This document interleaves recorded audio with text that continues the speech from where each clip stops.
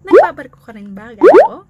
Are you a seafarer? Nakatanggap ka na ba ng LOE or Letter of Employment? Kailangan mo na bang magpa-medical o kumuha ng pre-employment medical examination? Welcome all for today's video as your Pinay Biyahera, I'm gonna share to you 8 tips na pwedeng gawin before taking your PEMI or pre-employment medical examination. Keep on watching.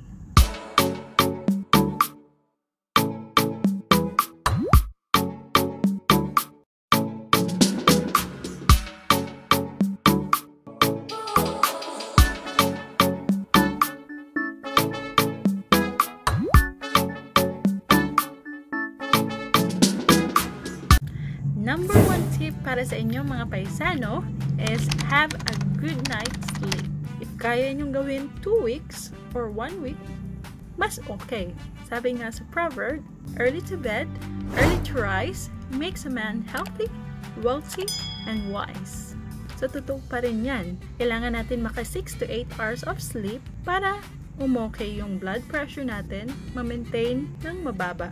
So, napaka-importante gawin ito, lalo na a day before your medical examination. Don't you know that a good sleep also removes toxins and heals our broken cells in the body? Also, it refresh our body and nare-recharge tayo, lalong-lalo na sa ating brain. Minsan, pag wala kang tulog, hindi ka mapag-isip ng mabuti. So, kinakailangan ang enough o sapat na oras ng pagtulog. Number two, we need to exercise. Kailangan natin mag-exercise. So maraming bagay ang nagagawa ng exercise. Overall, exercise makes you relieve stress, increase energy, strengthens your heart, builds strong bone, reduces fats, lower blood pressure, and makes you look younger than your age. Huwag niyong gagawin yan at least a day before your medical examination. Bakit? So, when you do exercise before your examination, ang heart rate nyo tataas and also, it will drop your potassium level. So, avoid having strenuous exercise or sobrang pag-ehersisyo isang araw bago magpapa-medical exam. Number three is to have a healthy diet. Eat vegetables, fruits. For now, alam ko Filipino tayo and we cannot avoid rice. But please, for your own good, avoiding rice for one week is a lot. Pwede ka mag-reduce ng kinakain mo 2 weeks or 1 week before na medical examination mo. Number 4, do a fasting at least 2 to 12 hours before you have your medical examination. It keeps your blood sugar and blood pressure to elevate. So, iwasan muna ang pagkain sa gabi na kahit ano, at least dalawang oras o 12 hours bago kayo magpa-medical examination para ma-maintain nyo yung level o hindi tumaas yung blood sugar nyo at ng blood pressure. Number 5, schedule your appointment as early as possible. In the morning is preferably para hindi na kayo mahirapan sa 12 hours fasting nyo mula gabi hanggang umaga. Number 6, do not take any alcohol for at least 7 days. Or kung kaya nyo, make it 2 weeks or more.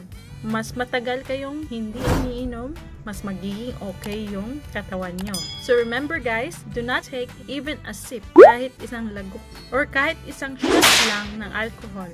Bakit? Kasi yung isang shot, magiging dalawa, magiging tatlo, at maglalasing na kayo. So, control-control muna guys. A smoker din, control-control. Iwasan mag-smoke, umanigarilyo, at least an hour or two hours before your medical exam. Nakakatulong din yan magpa-maintain ng blood pressure ninyo. Number 7. Drink lots of water. Well, our body composed of 70% water. So, so no doubt, it needs 6 to 8 glasses of water a day. So kung kaya nyo more, mas better. Lalo na pag nag-exercise kayo every day. So habang pinapawisan tayo, nag-excess tayo ng toxin sa body natin, kailangan natin ma-replenish yung nawalang water. Number 8 if may findings kayo before sa medical exam nyo na alam nyo nang meron kayo. Just like if you have a dental problem, kailangan nyo mag magpapasta, magpa-cleaning, better do it before the examination day. At kumuha kayo ng medical certificate na nagpalinis na kayo o napaayos na nyo yung ngipin. That would result to a smooth process on the day of your examination. So, most of the time, 1 to 2 minutes ka na lang pag-check and that's it.